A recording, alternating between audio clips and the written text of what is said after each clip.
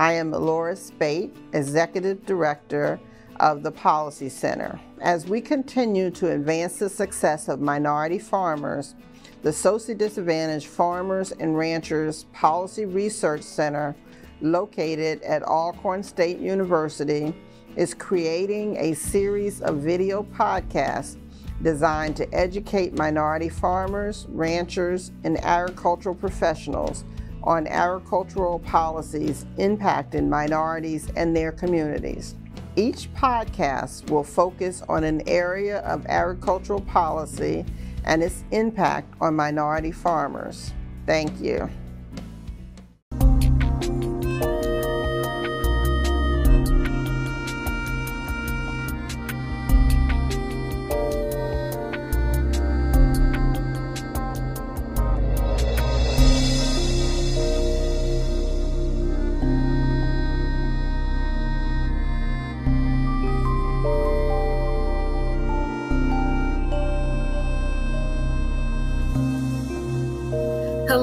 Welcome back to Policy Center Live. We are so excited for this new edition, this new episode, Food Sovereignty and the Farm Bill. My name is Dr. Kara Woods. I am the research analyst at the Socially Disadvantaged Farmers and Ranchers Research Policy Center that's located at Alcorn State University.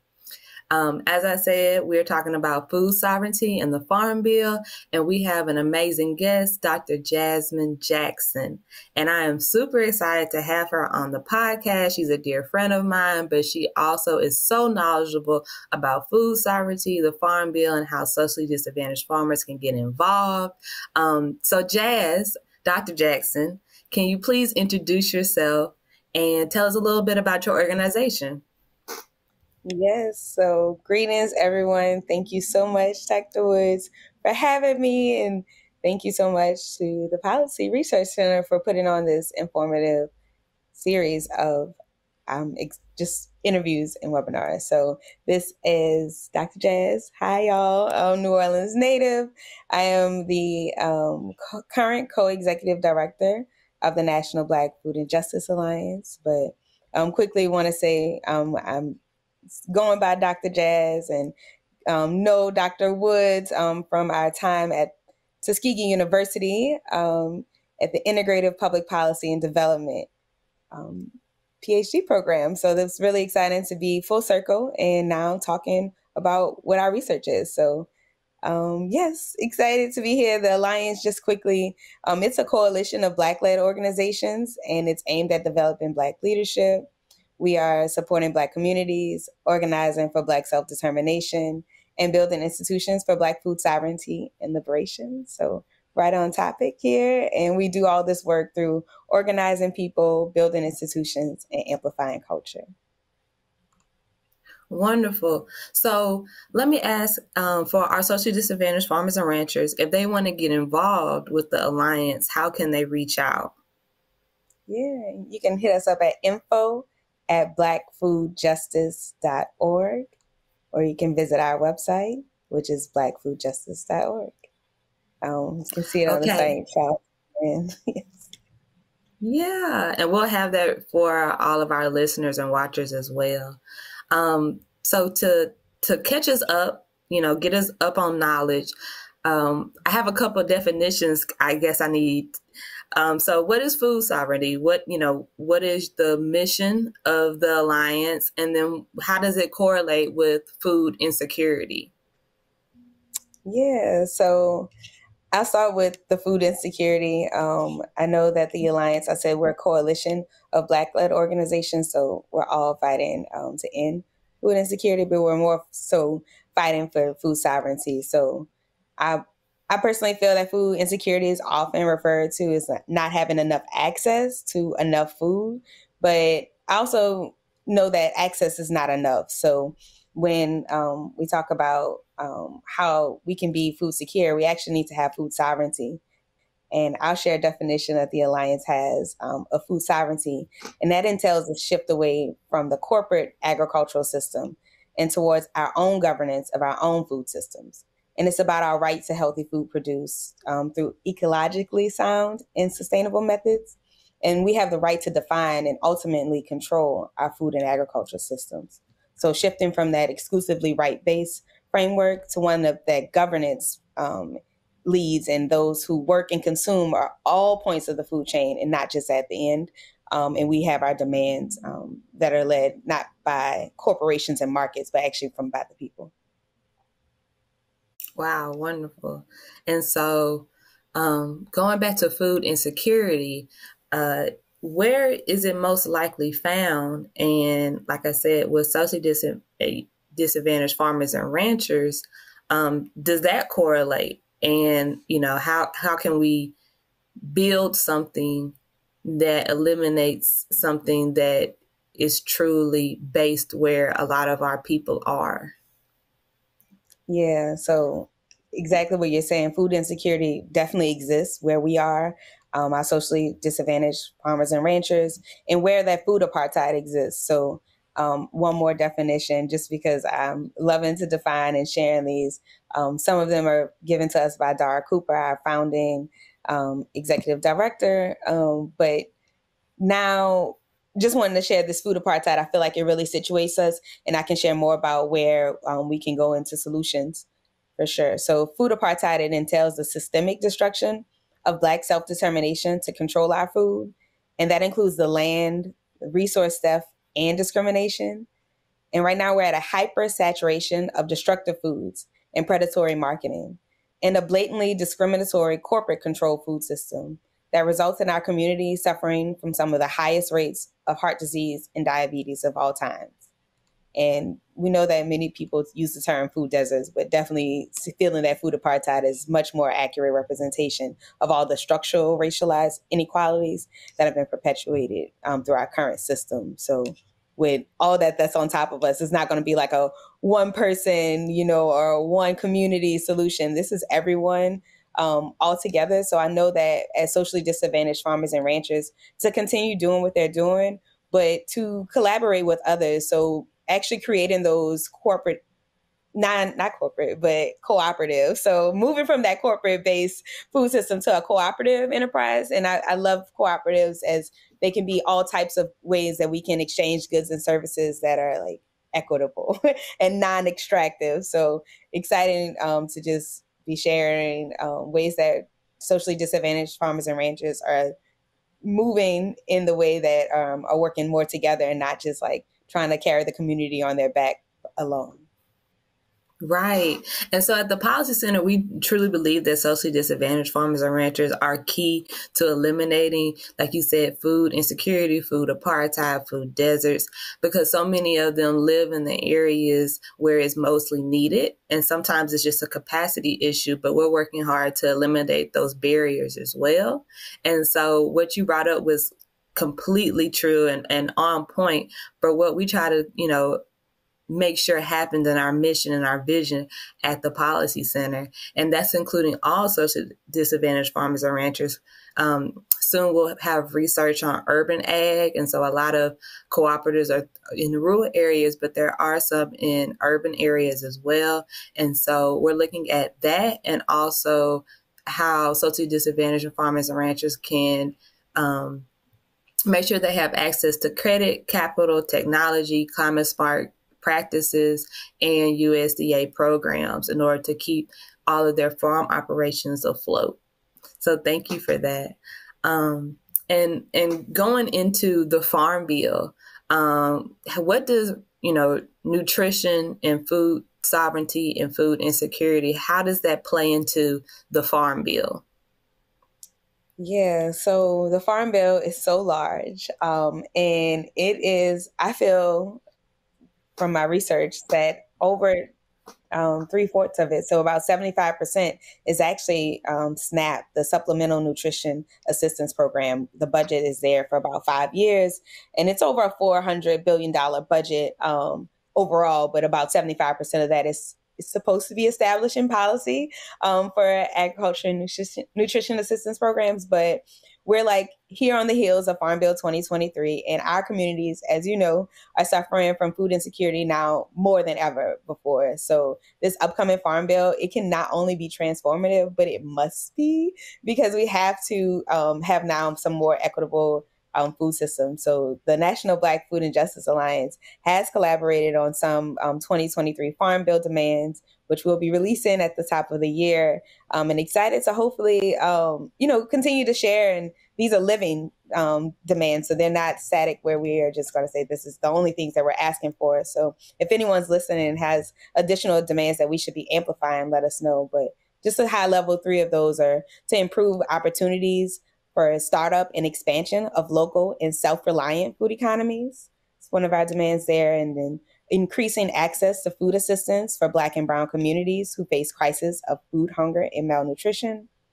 And then the third demand, just the high level, I definitely couldn't go into more detail um, when we get to it, um, but investing in Black food sovereignty and an emerging Black food movement. So those are some of the demands from the members of the National Black Food and Justice Alliance.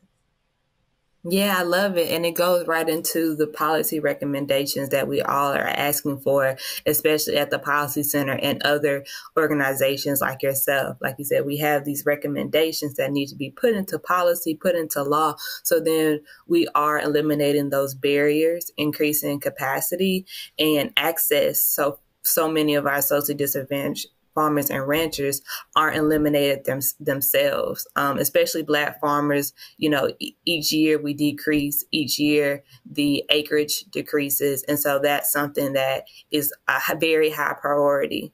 Um, and so, speaking of socially disadvantaged farmers and ranchers and the policies that we're fighting for, um, to, to create some type of equity. How can they get involved in the food chain and help eliminate um, food uh, insecurity? Yeah, I think earlier I was just mentioning about partnering with other um, farmers and producers and even entities in their community um, to provide those gaps. So I'm really big on cooperatives and having producer cooperatives, having farmer cooperatives, having even a cooperative that shares your back office. So having all of your invoices centralized or just the technical assistance. There's so many different ways. Like you can even have a land cooperative or a retail grocery store cooperative. So there's so many different ways that um, we can collaborate together to actually um, meet some of those challenges that we're experiencing. Um, but particularly um, collaborating with that local municipality. So if you have um, a local food policy council, it may even be regional, um, attend a meeting or see what type of campaign they have going on or see how you can be involved in making not just a change in your community right now, but making something lasting that's going to outlive us all. Wonderful. Thank you so much for that. And just to clarify with the Alliance, do you do um, like one-on-one technical assistance with farmers because at the policy center we can't but i just wanted to see if you all do yeah and it depends on what that technical assistance is right now we have um, for our current members a letter of inquiry out um, for some funding that we're um, we've been raising to regain stewardship of 15 million acres. That's our large goal. This funding will not actually, of course, equate to that, but it will be starting off. So and it doesn't necessarily seem like, oh, it has to be to purchase land. It also can be to um, provide infrastructure. So we mentioned the barriers that we have in capacity um, that exist in our socially disadvantaged farmers and ranchers. So right now we are directly um, providing assistance, um, and that looks like awards and also support to connect with local um, organizations and others that are also doing this work. So we're not starting from scratch or reinventing the wheel. No, and it's so important, right? Because for so long, our farmers have not felt like they've been heard. They have not felt like someone has listened. They have not felt like they've been seen or had a platform. And I think that the work that you and I are doing are, is really, you know, trying to make sure that we elevate some people that felt like they have been forgotten about and we are are really trying to make sure that that is no longer the case. And you know like you said me and you have known each other for a while now and it is amazing that we can say that we're doing this work that we truly believe in. Um, and you know started started from the bottom and and now we're really out here trying to change goals for future generations. And so i, I really i'm just proud of us honestly. Um, but to get back on track I'll just Sometimes say I know the answer. A... Say that one more time. I was just gonna say I'm proud, and I know the ancestors are proud, and so um, is everyone that's here now, and those that are to come. It does get me emotional thinking about this is our life's work and how big it is. It's, it's bigger than us. This is not for we didn't get these PhDs for us. This is community work. So um, thank you for um, being you. Yeah, sometimes you got to stop and do a praise break. I promise. But um, so this is our closing question. I, I thank you so much for being here. But to bring it back to policy and how policy um, affects you know, your members our socially disadvantaged farmers and ranchers. Um, the White House has released a national strategy on how to end hunger. And they just also had a conference on hunger, nutrition, and health. Um, this just happened, so you might not have all the information on it. But do you have any recommendations or other demands that you would like to push that you feel that the White House, um, House Ag, you know, anyone else that is involved in the Farm Bill process needs to know and needs to make a priority? Yeah, thank you so much for this question. So, we have a policy table at the Alliance, and we have not um, debriefed on this White House conference, but um, I would like to just amplify some of the demands that we've already gathered um, that goes along with the Farm Bill, but I feel that directly relates to this national strategy. Um, and I'm just going to start off with this reintroduction of the Justice for Black Farmers Act. So, Senator Booker's staff, we are working closely with um, and are hoping to relaunch a, a, campaign to introduce this act and have it included in the Farm Bill. Um, there were so many key parts of the Justice for Black Farmers Act, including um, you know supporting our incoming generation, new generational farmers with land and resources and lots of training. So excited about that potential of the reintroduction of the Justice for Black Farmers Act. Um, and just also um, looking at that goal um, that President Biden announced, saying that um, they're ending hunger and increasing healthy eating and physical activity by 2023. And their goal is so fewer Americans can experience diet related diseases um, and reducing health disparities. I, I sit and think about how audacious and ambitious that goal is by 2023, which is very soon and around the corner. So I think there's going to be some drastic changes that need to be made. And the ones that they listed um, in the strategy is about improving food access and affordability. So it definitely um, details about expanding SNAP eligibility to more underserved populations. But I just want to be sure that we're taking a look right now at our current SNAP programs and all the barriers that currently exist in it, and not just saying that we're going to put more access when there there's not full access now. So just removing some of those additional work requirements for SNAP eligibility, specifically for college students and those who may um, be in between work. Um, that that's one of the um, demands that we've included um, for Farm Bill, but also just thinking about creating alternative methods for verification for food insecure farmers and agriculture workers to qualify for these food assistance programs. So many of our socially disadvantaged farmers and ranchers are not able to feed themselves in the ways that they, we know that they should be able to, the ways that they feed our communities. So thinking about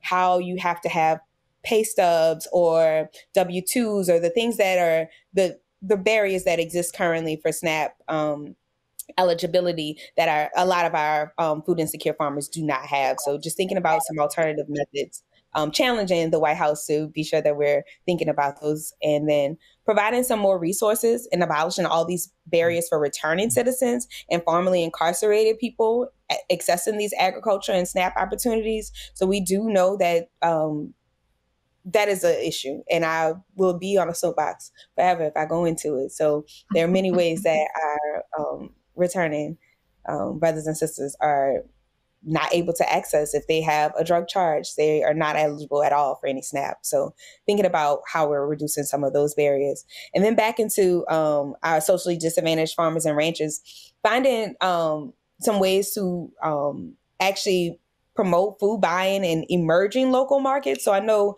it's a little difficult to get that startup money. So right now we have like a lot of awareness because of COVID and how things have shifted our global food chain and how it's not how very volatile it is. So thinking about ways that federal money can be sent down to municipalities to like hey, if you all have a, a food buying club that you want to experiment with, or you are looking to build a co op, this is seed money for that organizing because it takes eight to 12 years to build a co op, y'all. It is not short work. So, thinking about that. And my last soapbox point here is easing the point of sale um, with SNAP benefits. So, if we're going to increase the possibility of getting it, um, having SNAP benefits, we want to also increase the possibility of farmers participating in that process. So, actually putting forth some federal policy to standardize that process to get SNAP benefits. Right now, it's state to state, specifically that double bucks program. Right now, you have to do so much paperwork and it has to be like available at your market and it's really hard to be like mm-hmm. oh i mm-hmm. have a farm stand and people can come to me directly and or i can drop off the food and um, do a transaction at that time but there it sounds like it should be easy, but it is almost impossible for our socially disadvantaged farmers and ranchers to um, participate in um, some of these programs. So I could go on more about the recommendations, but I suggest and strongly advocate for that community based and led research. I know that last point was about enhancing nutrition and food security research.